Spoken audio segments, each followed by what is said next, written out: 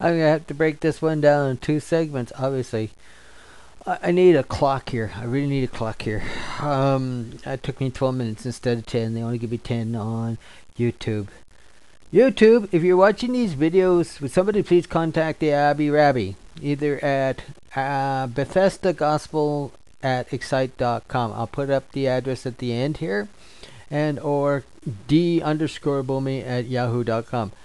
I really, really, really am aggravated. Why? I want to know why some groups can get like a half an hour out here and I'm allowed 10 minutes. I want to know how I can get some more minutes out here and how that's involved. All right. I need at least a minimum of 20. All right.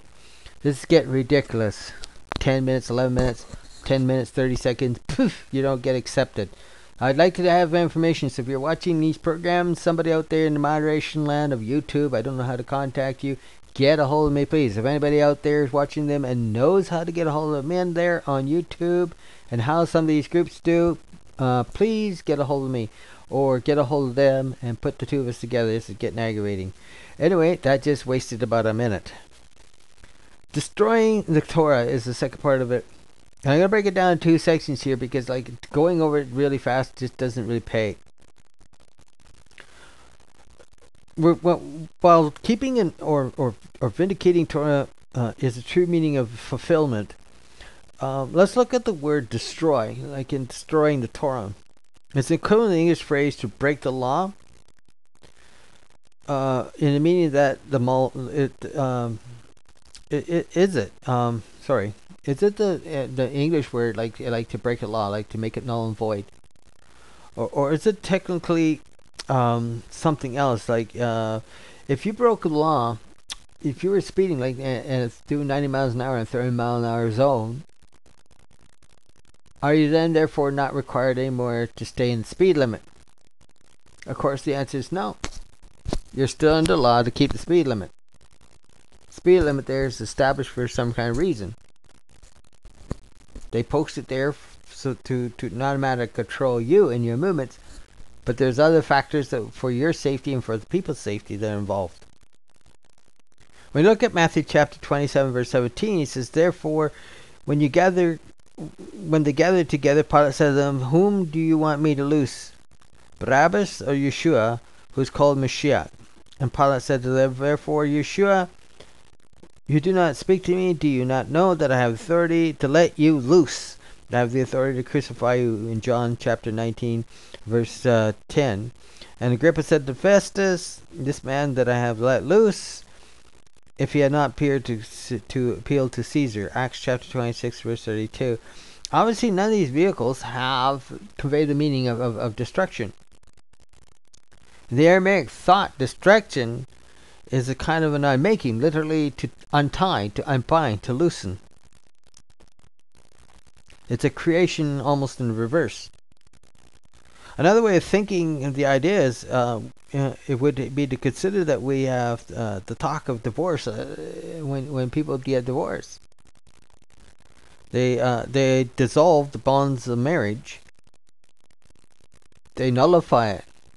They turn each other loose, and they part company. The foundations of the great, deep were released, and the floodgates of the sky were opened. Shake yourself from the dust and rise up, O Jerusalem. Loose yourself from the chains in your neck, O captive of, of daughter of Zion. Chapter Isaiah chapter 52, verse 2.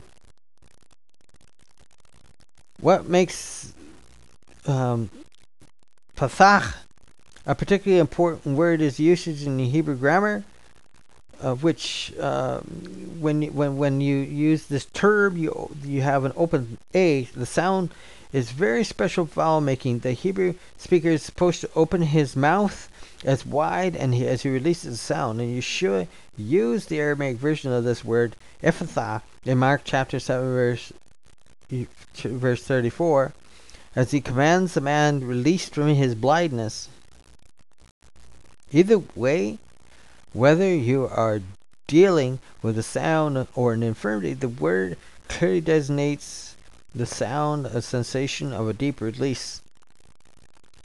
The ah. You know, you've been tied up and you let go. You let that ah release out of you. And we need that ah, release in our life. The destroying of law is, is a matter of release, of freedom that we get. Do not think that I have come to unravel the, the Torah or the prophets. I tell you, I have not come to unravel, but to give proper interpretation of them. Matthew chapter 5, verse 17. He didn't tie untie it. He didn't let us free of it. But he gave a proper interpretation of it because they had so many laws on top of the laws, everything became clouded. Nobody understood it anymore, and it became a bunch of gobbledygook. We do the same thing in churches today. They'll talk about law versus grace. But if I go blip inside the church, trust me, they'll remember the law real quick.